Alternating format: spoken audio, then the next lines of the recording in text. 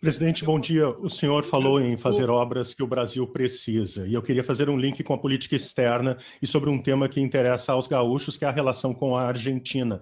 O BNDES deve financiar a exportação de produtos brasileiros para o trecho do gasoduto de Vaca Muerta, na Argentina, até a Uruguaiana, aqui no nosso estado. Essa estratégia ela já foi questionada, ou seja, o financiamento pelo BNDES de obras em outros países como Cuba e Venezuela, porque gerou dívidas que até hoje não foram pagas. Não é um risco repetir esse tipo de iniciativa na Argentina, um país que está em crise? E quais as vantagens para os brasileiros, em especial para os gaúchos, desse gasoduto? Rodrigo, deixa aproveitar essa tua pergunta para a gente politizar um pouco a sociedade brasileira. Pelo amor de Deus, Rodrigo, quando a gente financia uma obra no exterior, a gente está exportando engenharia, a gente está exportando máquina e a gente está ganhando muito dinheiro além daquilo que a gente vai receber. Ora, é verdade que a Venezuela não pagou porque o governo brasileiro fechou as portas para a Venezuela? Foram praticamente quatro anos sem relação. Eu conversei com o Maduro agora e eu falei, Maduro, é preciso começar a acertar o pagamento da dívida. E ele vai acertar. Ele vai acertar, Cuba vai acertar e todos vão acertar, porque todos são, são bons pagadores e nunca deveram ao Brasil. O que é importante é que o Brasil é um país muito grande. O Brasil tem maior população, é o país mais rico, é o país que tem mais tecnologia. Se o Brasil não ajudar os outros países, como é que vai ficar? Veja o que a China está fazendo no mundo. Veja agora o que a Índia está fazendo no mundo. Veja o que a Turquia está fazendo no mundo. Esses países estão colocando dinheiro em todos os outros continentes. E o Brasil não pode permitir que a China coloque um swap de 30 bilhões de dólares na Argentina para a Argentina comprar os produtos, produtos chineses, e o Brasil que tinha uma balança comercial de 40 bilhões de dólares com a Argentina, não coloque nada e deixe os produtos brasileiros ficarem aqui na prateleira, porque os argentinos estão comprando chinês. Não, isso é competitividade. E o Brasil precisa sim financiar. E não é financiar a Argentina, é financiar os empresários brasileiros, é financiar as exportações brasileiras.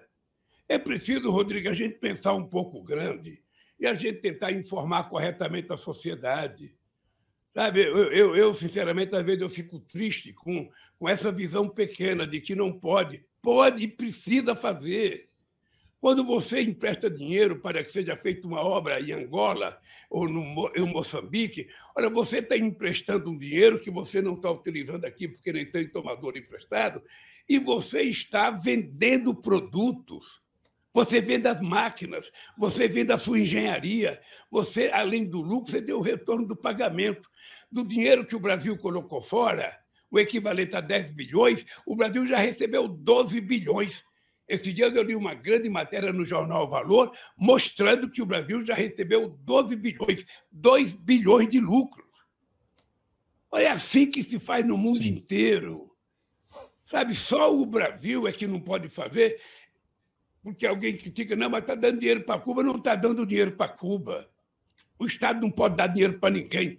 O único dinheiro que pode ser dado é para o povo pobre desse país deixar de ser pobre. Mas do restante a gente financia, a gente empresta, recebe juro, recebe o principal e ainda vende muitos produtos nossos. É assim no mundo inteiro. No começo do século passado, o Canadá cansou de investir aqui no Brasil, a Inglaterra cansou de investir aqui no Brasil, as ferrovias eram feitas pelos ingleses, sabe, muitas hidrelétricas feitas pelos canadenses. Ora, é assim que o mundo faz. E é assim que o mundo está fazendo. Só o Brasil. O Brasil não pode ser pequeno. O Brasil precisa crescer e a América do Sul precisa crescer junto com o Brasil. O Brasil precisa crescer, mas o Uruguai precisa crescer, o Paraguai precisa crescer, a Argentina precisa crescer, a Bolívia tem que crescer, porque nós somos um mercado consumidor de quase 450 milhões de pessoas. Nós poderemos tranquilamente ter um mercado mais forte para negociar com a União Europeia.